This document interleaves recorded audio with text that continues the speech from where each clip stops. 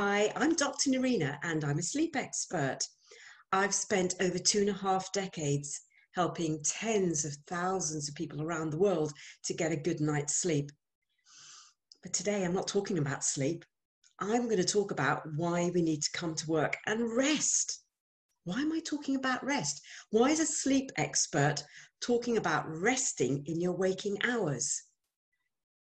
Is it because once my mother used to say to me, Nerina, you're so restless. Why don't you sit still?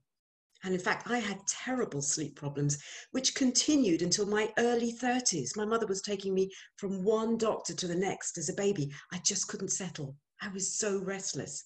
Got to my early 30s, got really ill, started on a healing journey, learnt what it was all about. Hey presto, I can now sleep really well. But today, let me remind you, I'm talking about rest. Why? Let me just dial the clock back a bit. Okay, so I am a physiologist. Decades ago, I studied uh, physiology at King's College London. And I was in a laboratory with a white lab coat on. I was a theorist, if you like. I was um, working with tissue culture samples, pipettes, 96 well plates, I was measurement, I was theory, but I realized pretty quickly that actually I wasn't really about being an academic. I was much more interested in real live human beings. So after a series of jobs after my academic um, qualifications were achieved, I ended up in uh, the City of London, Square Mile, in a pretty dumpy little clinic in the basement in Moorgate executive health screening clinic where I was measuring the health of city professionals, bankers, lawyers, accountants, insurers. And something started to, how do I say, it didn't make sense to me. What I had anticipated from my academic studies was really mismatched with what I was picking up in the laboratory.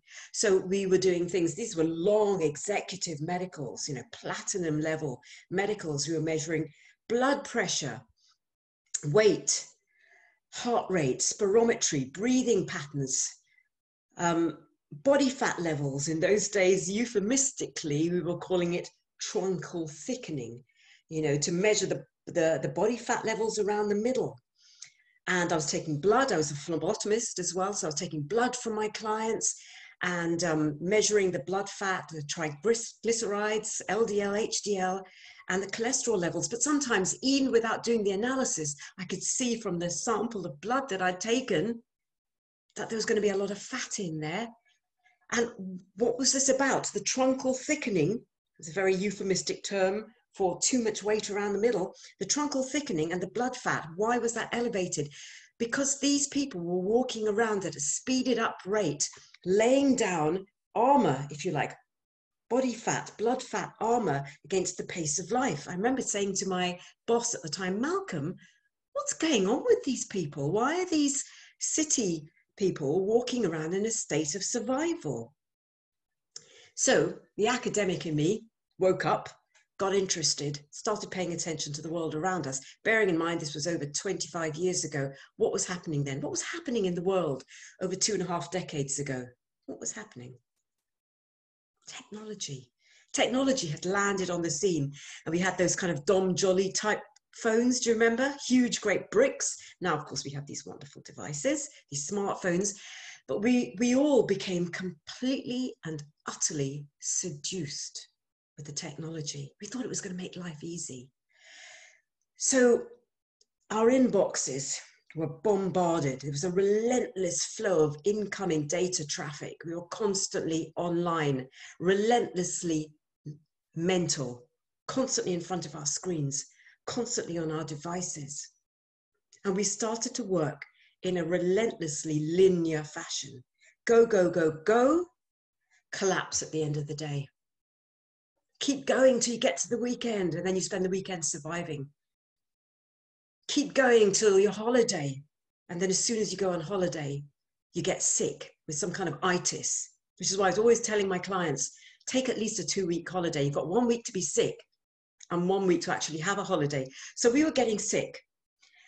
And um, the health and safety ex- executives started paying attention because there are a number of cases, landmark cases going through the courts, notably John Walker, Northumberland County Council. He sued the council successfully for stress at work. Suddenly, duty of care, stress at work was on the agenda.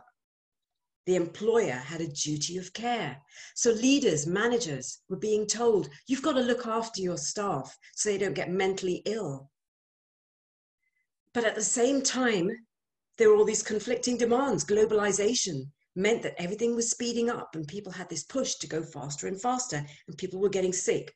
I noticed that there was a need to talk about sleep, not least because I also wasn't sleeping. So I started talking about sleep, got sick, solved my sleep problems, by the way.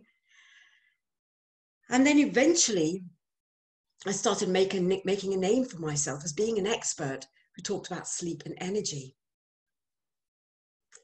because I was noticing that there were some people who were really, really good at managing their sleep and their energy levels. And they weren't genetically gifted. It wasn't about gender or how much money they were earning.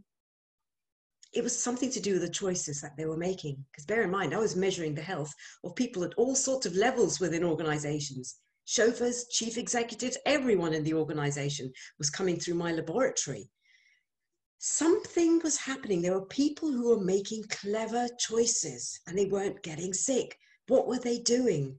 So I started patterning this. I started becoming obsessed with this, these choices. I started writing about it, lecturing on these choices, teaching these choices, as well as doing it myself, and getting better and better and healing my own sleep problems, my own restlessness problems. And then I got headhunted to work at this clinic in the city, psychiatric clinic, where ironically, that was the place where I'd been ill and spent a month there all those years ago. I was headhunted to work there to run sleep and energy programs for people with severe mental health problems. I wrote my first book, Tired But Wired, for people who would put their head on the pillow and their brain was fizzing and buzzing so much they just couldn't sleep. And so I started talking even more about sleep while knowing at the same time, but it wasn't the whole picture. The sleep industry was growing and now it's a, you know, billion pound industry. We've never been more perfectly placed to get a good night's sleep. You think about the, the engineering that goes into our mattresses, our pillows, our weighted blankets, our duvets, our Egyptian thread cotton sheets, our blackout blinds scented candles, aromatherapy oils, hypnosis tapes, meditation apps, wearable devices. We've come such a long way since the hunter gatherer sleeping on a mat of leaves in their cave, and yet we can't sleep. And that's because getting a good night's sleep is amazing. There's a reason why we're designed to spend a third of our lives sleeping, but it's not the only solution to this global problem that we're facing, which is about the fact that we're running in survival mode, living in the wrong part of the nervous system because we're not managing what we do in our waking hours. We need to come to work and rest. So let me talk about the physiology behind this. You've heard of the circadian rhythm, the 24 hour clock. It's an oscillating cycle. We expend energy, we recover energy, and we sleep. Almost more important than this, and this is the bit that I really, really want you to pay attention to, because this will profoundly change your relationship with your energy levels, your sleep, and your ability to truly enjoy those best bits of your life. Built into this circadian rhythm is a shorter rhythm of about 90 to 120 minutes. Researchers discovered the hum of this rhythm within the circadian rhythm in the 70s, but people don't talk about it enough. The hum of your energy is called the ultradian cycle. It's the rhythm of your energy, and we sleep with this rhythm as well. We sleep in 90 to 120 minute cycles throughout the night, light sleep, into deep, pure restorative sleep. But also during our waking hours, this little hum of 90 to 120 minutes continues throughout the day. Our energy pulses throughout the day. So there are times when we're sitting at, at looking at our screen gazing at the inbox, looking at the to do list, and we glaze over, we get tired, and we reach for yet another caffeinated drink. Hey, no wonder the caffeine industry is soaring along with the sleep industry. Reach for another cup of coffee, but what we need to do is stop, rest, do something unrelated to staring at a screen.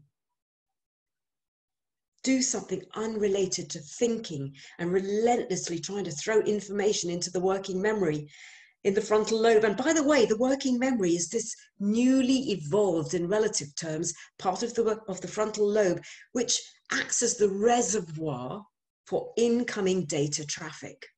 So you're sitting here and you're listening to me, hopefully, and if that information is going in, it's going into your working memory, which after about 90 to 120 minutes, I'm not going to talk for that long, by the way, but after that amount of time, this reservoir becomes overly filled, becomes filled up, and we cannot take more information in. And we go into a kind of trance like state called the hypnagogic trance, where we glaze over. We cannot take more information in. Um, actually, we become a little bit kind of gormless but so many of us, because of this relentless linearity of the way we work, we just keep going, we keep going, even though we're running on a battery power that keeps falling off. Running on 60% battery power, 50%, 40%. Oh, I can't concentrate. I'm falling asleep. I'm just going to go and get another cup of coffee. I'm just going to stare at my device in the hope that that dopamine hit is going to wake me up and I can concentrate a bit more and get the job done. When actually, what we need to do is simple we need to rest. We need to stop leaning in. We need to stop over efforting, trying so hard. We need to lean back, breathe deeply, get up, move, come to work and rest. When I say these, this phrase to leaders in companies, because I work on a number of leadership programs, they will often say to me, What? Tell my staff to come to work and rest.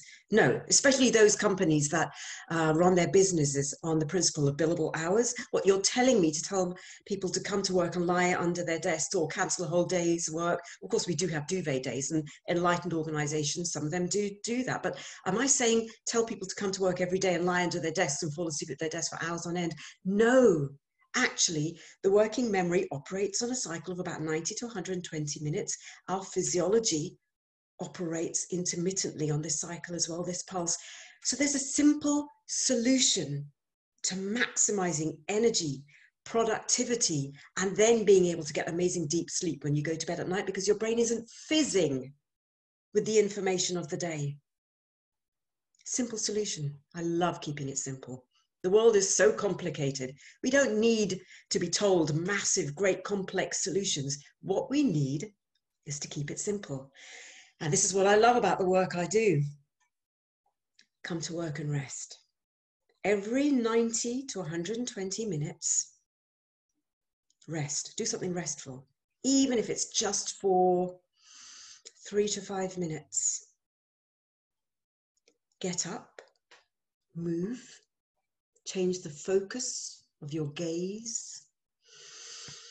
Breathe. Get out of your head Climb back into your body. Feel your feet on the ground. Walk up and down a flight of stairs. If you've been staring at a computer for three hours without moving, the most restful thing you can probably do is 10 burpees or 10 press ups or 10 star jumps. Do something unrelated to being relentlessly mental, thinking, thinking, thinking. And the reason why there is a global epidemic of not only insomnia, but mental health problems is because we're over exercising and exhausting the mental muscles of the brain. We need to give them a break. Athletes know this. They need to build in intermittent recovery. Why are corporate athletes so bad at doing this? Stop, rest. When you come back to your task, you will have renewed mental focus. Research shows that even taking a break, a mindful break of three to five minutes, breathing, moving, eating something healthy, drinking something non caffeinated, hydrating, even doing that for a few minutes can increase mental performance, cognitive performance scores significantly, measurably. Task recall, word recall increases when you do that. So come to work and rest. Every 90 to 120 minutes, get up, move, eat, drink, nourish yourself deeply. Think of someone you love. Look at a picture of someone you love. Hug a tree. Smile at someone. Hug someone. Someone who wants to be hugged, who you know. Engage with people. Remind yourself that you're a human being, not a human doing. Come to work and rest. And you know what? You'll sleep better at night. And you won't, probably won't need me as a sleep expert. Oops. The key to getting a good night's sleep actually is to, from the minute you wake up, think about the conscious choices that you're making. Sleep well. It's about living well, it's about loving well. Come to work and rest. Thank you for listening.